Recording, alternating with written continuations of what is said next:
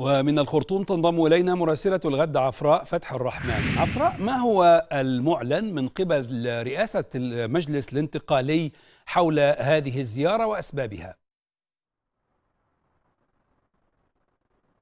نعم فيما يتعلق بالزيارة المعلن فقط حتى الآن هو زيارة النائب الأول لرئيس مجلس السيادة الفريق والركن حميتي وكذلك وزير الخارجية عمر قمر الدين وكذلك مدير جهاز المخابرات. هذا هو المعلن فقط حتى الآن.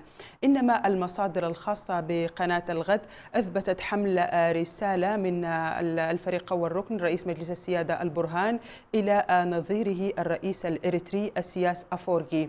هذا من ناحية. ومعلوم أنه قبل أيام قلائل أتى وزير الخارجية الأريتري ومعه مستشار أسياس أفورغي يحملان رسالة إلى البرهان أيضا. الأمر يتعلق بالنزاع الحدودي بين السودان وأثيوبيا في الجبهة الشرقية من السودان. هذا هو المعلن. أما فيما يتعلق بالنزاعات الحدودية بين السودان وأثيوبيا فإن جميع الخرط الموجودة لدى الأمم المتحدة وكذلك خريطة أثيوبيا المعلنة التي تعلنها أثيوبيا. نفسها تثبت أن هذه الأراضي أراضي سودانية. أثيوبيا لها العديد من الحجج. من أبرز هذه الحجج أن هذه النقاط أو ترسيم الحدود قد وضع من قبل المستعمر البريطاني. وفي ذات الوقت فإن المستعمر البريطاني قد منح أراض سودانية مثل يعني مدينة المتمة وكذلك منطقة بني شنغول. وهي من المناطق شديدة الأهمية منحت لأثيوبيا بعد أن أن أن قالت إنها دولة فقيرة وأراضيها أراض جبلية وغير صالحة للزراعة منحت لها الأراضي السودانية. إذا إذا فتح من جديد ملف الاستعمار وغيره فإن هنالك أراضي سودانية لدى أثيوبيا. نعم. أما أما اتفاق 1972 هو اتفاق محدد في العهد المايوي بعد أن أتى على وجه التحديد 17 مزارع أثيوبي استصلحوا أراضٍ سودانية. لحل هذه المشكلة جلس الطرفان السودان وأثيوبيا ووضعوا مذكرة تفاهم أن الأمر يبقى على ما هو عليه وصولا إلى حلول ودية. يبقى على ما هو عليه ما هو عليه الأمر هو أن هذه الأراضي أراضي سودانية منذ العام 1902 ويبقى على ما هو عليه السماح للمزارعين الأثيوبيين باستصلاح الأراضي السودانية. وهم لم يمنعوا ولكن كانت هنالك العديد من عصابات الشفتة وكذلك معززة بفيالق من الجيش الأثيوبي وأدت إلى مقتل بعض الجنود السودانيين وبعض الضباط السودانيين. نعم. السودان صبر طويلا على هذه الاستفزازات والآن السودان لم يقم بأي خطوة فيها استفزاز لأثيوبيا. كل ما هنالك أن السودان موجود على أرضه. نعم. الموجودة بخطط لدى الأمم المتحدة وخرط لدى أثيوبيا وخرط لدى السودان أيضا. نعم. السودان لكن يعني عفراء ربما السؤال يعني الذي يثور الآن هو لماذا إريتريا؟ ما الذي تعول عليه حكومة الخرطوم من إريتريا؟ لا سيما وأن يعني أسمرا كان لها موقف مساند للقوات الإثيوبية في نزاعات حدودية على أراضي سودانية قبل ذلك.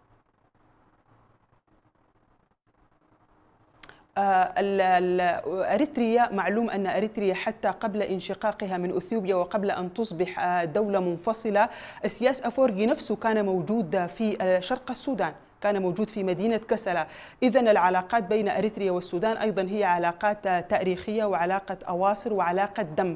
السودان كان داعما لدولة أريتريا قبل أن تحقق استقلالها وأيضا انطلقت من, من, من الأراضي السودانية نفس دولة أريتريا والحركات ال الداعية للاستقلال قبل استقلال أريتريا. هذا من ناحية. من ناحية أخرى فإن أسياس أفورغي هو الذي بادر بإرسال رسالة إلى البرهان قبل أيام عن طريق وزير خارجيته وأيضا عن طريق مستشاره الخاص. ومعلوم أن هنالك علاقة ودية خاصة ما بين أبي أحمد وأسياس أفورغي نحن لا نعلم فحوى هذه الرسالة على وجه التحديد أو التفصيل فيها. فقط هي رسالة من البرهان توضح موقف السودان وتوضح أن السودان فقط موجود على أراضيه ربما هنالك بعض التفاصيل التي سوف نحصل عليها في التصريحات ما بعد الزيارة. نعم. لكن السودان يحاول نشر وجهة نظره على أكبر نطاق. معلوم أن وزير وزير الخزانة الأمريكي الذي زار السودان أول أمس طرح له أيضا السيد رئيس مجلس السيادة التوترات على الحدود الشرقية وقال له إن السودان موجود على أراضيه ورغم ذلك نحن نجنح للسلم ونجنح للحوار. أيضا الوفد الذي زار جوبا بالأمس والوفد الذي يزور أريتريا اليوم.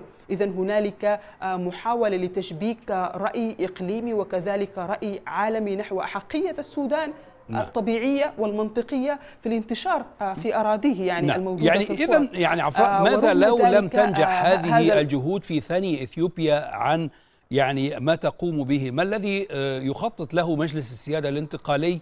من تصعيد في المرحلة المقبلة إذا لم تسفر الجهود الدبلوماسية عن حل.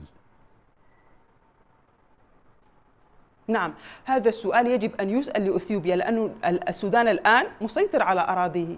القوات الشعب المسلحة موجودة على الأراضي السودانية. إذا أثيوبيا ماذا ستفعل؟ لكن السودان موجود على أراضيه. ليست هنالك مشكلة إطلاقا لدى السودان. هو يحاول أن يجنح للحوار.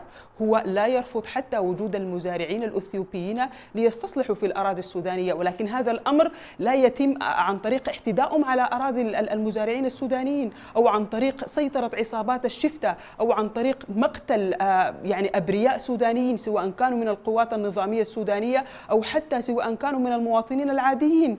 ومعلوم أن السودان نواياه ويده أيضا بيضاء تجاه أثيوبيا السودان الآن يأوي 56 ألف أثيوبي بعد صراع التجراي حتى دول العالم الأولى الدول المتطورة الدول المتقدمة لا تستطيع إيواء 56 لاجئ نعم. في ظرف أقل من شهر واحد نعم. السودان الآن فتح حدوده السودان الآن بنى معسكرات جديدة واقتسم نعم. قوت المواطنين السودانيين من الأسواق المحلية مع اللاجئين الأثيوبيين إذا السودان ليست لديه أي نوايا سيئة تجاه شكرا جزيلا لك عفراء فتح الرحمن مراسلة الغد. كنت معنا من العاصمة السودانية الخرطوم.